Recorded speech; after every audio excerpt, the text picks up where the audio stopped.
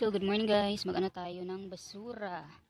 Mag benta ng basura guys. So, ayan. May pera sa basura. So, mga ano to. 1, 2, 3, 4, 5. So, ayan. Mga 6 siguro. 6 na bag.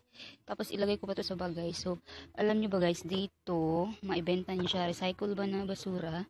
Yung to mga cans, mga bottles. Dito, mga bote. Ayan.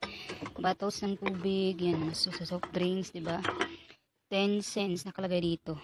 Tingnan mo. Ayan oh. 10 cents ay mag-focus. Oh. Dito. Saan ba yung may may lagay na 10 cents? Hindi ko mahanap. Ayan. Ayan, 10 cents. At saka ito guys, um, ito lang yung naano talaga namin, mga 6 bags. Pero dati, naka 10 bags kami. Tsaka naka 100 dollar kami nito. So, ayan, tingnan niyo yung mga ano na, ano namin, na i-keep namin ng mga bote, ba Ayan. Ayan oh. Yan, mga bat bote ng soft drinks. Mga, ito dito naman ano, kasi na close na. So, ayan. Dito, katulad rin ito, same, same pa rin. Bottles, oh, ayan. Ayan. Tsaka sa mga milk siguro pwede, pero I'm not sure ha. Dati kasi sa ano, Victoria, meron din ganito, pero hindi kami nagkikip. Pero ngayon nagkikip kami kasi sabi ko sa kanya, um, may pera naman pala dito sa basura. Eh, at least at the same time, makasave, makasave ka sa planet. At the same time, magkapera ka pa, ma-recycle mo. And then, yun nga, nag-start kami siguro mga February, February this year. So, ayan, ayan ang ating basura. So, i-ano ko pa to guys, organize ko to. Tapos, mamaya i-ano natin dun sa camper van. Yun, oh, yun, yun, ano namin yung camper van na yun, yun ang dadalhin namin pag nag-ano kami ng basura. Dali namin sa junk shop. Ayan.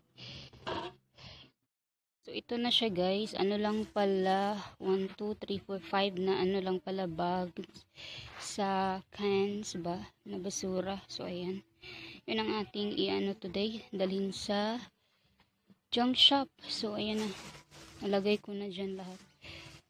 Dito ko na nilagay. Ayan. Ayan. So, mamaya update ako kung magkano ang ating makuha na pera ay benta. So, ayan. Oh, kahit ano, na-crush ba? So, ito yung mga basura namin, guys. Ha? Dito pwede naman. Ayan.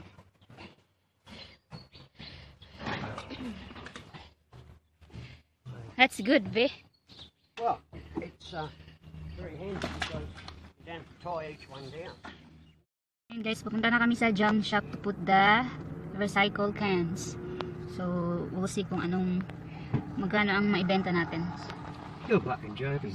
Si Parrot.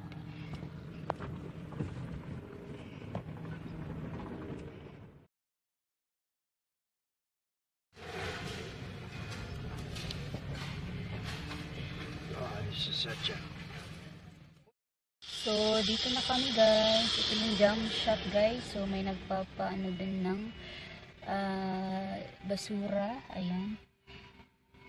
So, ayan si Mr. natin. So, after nito guys, mag email sila kung magkano ang naibenta or bayad sa mga cans or bottles. So, sinama na rin namin yung sa kaibigan namin ng mga basura na cans. So, yeah. mag email kasi pwede naman i-cash, pwede rin i-straight sa bangko guys. So, yeah, update ako mamaya. So, ngayon guys, namili ako dito ako sa Woolies. So, ito yung cake na binili ko para kay Mr. So, surprise, ano to guys. Surprise ko sa kanya this weekend. Hindi niya alam. So, ang birthday niya is next week pa. Pero, i-ano ko na this weekend. Kasi may lakad kami ah, next week. So, ito, magsasurprise ako. So, nag-grocery ako. So, yung grocery natin. Actually, nandito, nandito na ako kanina pero bumalik ako kasi bumili ng cake.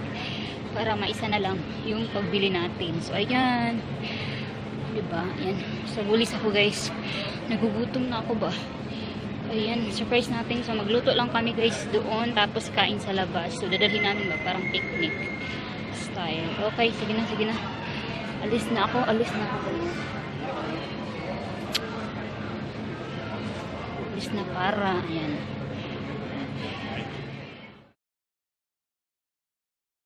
Hi guys, so ngayon magluto ako ng sinigang na ano, manok. So, ayan. Ito yung gagamitin ko na nor na sinigang. So, dapat sana is um, shrimp. Pero wala akong shrimp. And then, luto lang tayo ng sinigang na uh, manok. And ito guys, breast fillet to siya. So, hindi ako nagamit nung may pa, ano, leg-leg.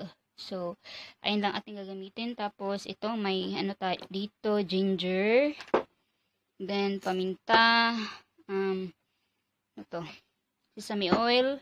And I got soy sauce. Ayan. And then, onion. And then, ito ang, lagyan ko siya ng little bit of papaya, guys. So, binigay ito sa akin ni Ate Meg. Thank you, Ate Meg. Raw papaya. Ayan. Para maiba naman. And then, malunggay. So, lalagyan ko siya ng malunggay. Kaiba, no? Malunggay ang ano natin sa sinigang. So, tapos, may ano ako dito. Asin. So, ayan lang. And then, luto na tayo. We'll start. Tapos, butter yung gagamitin ko na oil, guys.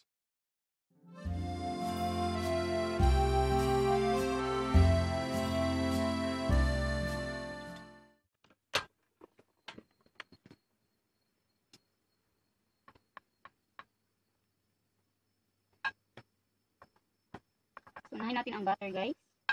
Laki ng tuha version ko, guys, pero pwede nyo siyang i-follow or nyo yung ganitong luto. Ayan. Yan natin mag-melt. natin mag-melt. One ano lang, kutsara na butter. Ayan.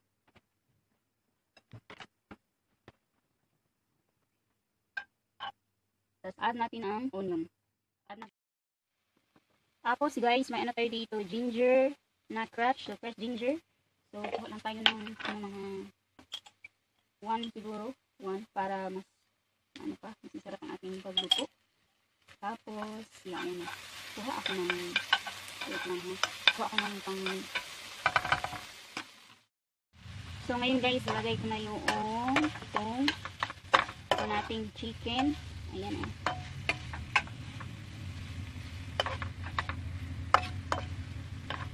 Ayan.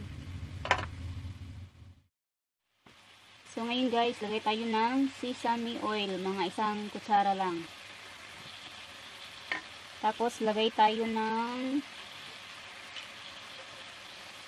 soy sauce naman. Ito yung soy sauce natin. So, ngayon guys, lagay tayo ng soy sauce. So, dito lang natin ilagay. Ayan. Dalawang ano lang. Dalawa siya guys. Kutsara. Ayan. Yan lang natin ilagay. Tapos, mix lang natin konti. Ayan. Ano gagamitin ko yung malaki ba? Natin. Ano ito? Ayan. Madali lang naman itong lutuin ang chicken, guys. Ayan. Diba?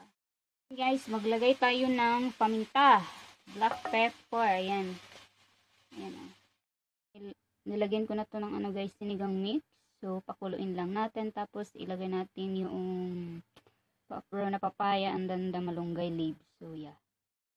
And this time guys, nilagay ko na ang ating raw na papaya and then next ko na ang malunggay after 6 minutes. So, nagta-timer din ako guys. So, ayan.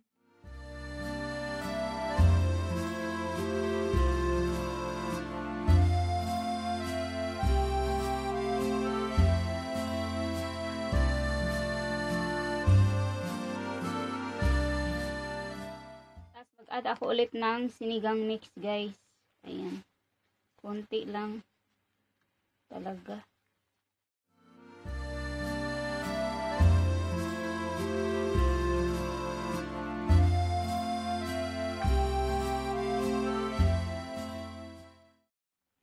And this time guys, nilagay ko ta ang ating malunggay. So this is a Bisaya style guys ha, na sinigang. Pero sa akin may patwist lang na may malunggay. Kasi sayang naman kung hindi ko to isasali ang malunggay leaves. Kasi paano na, nag-change na yung sa puno guys ba. So, konti na lang and then yun, sinama ko na rin. So, ayan. So, ito na guys. Luto na ang ating sinigang na manok. With papaya and malunggay leaves. So, ayan.